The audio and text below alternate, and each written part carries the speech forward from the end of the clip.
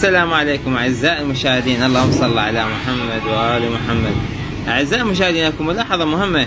إذا عندك مروحة بالبيت مروحة سقفية وتشوفها يعني فرتها آه، مو طبيعية جاي تهتز. هاي معناتها جاي تقص بالبرغي. فدير بالك من عندها. يعني لازم تسوي لها إدامة دورية. هاي يعني هاي الملاحظات قبل لا تصير حادث عندك توقع الحالة. فأنت دائما أي مروحة تشوفها تهتز. آه، افتحها. وهذا البرغي لازم هذا هذا الشيش اللي يجي من فوق لازم ينضب بالبرغي هذا حيل. يعني يكون ما يهتز. إذا اهتز يظل يقص بالبرغي. إذا مضبوب هذا البرغي بعد ما راح يهتز. وما عليه بعد. يعني يعني من الصعوبة ينقص البرغي. بس إذا هذا البرغي راخي مخليه راح يقص البرغي. وهذا الرباط لا يعني لازم يتفعل. إذا ما تفعل من توقع يكرها يخليها معلقة.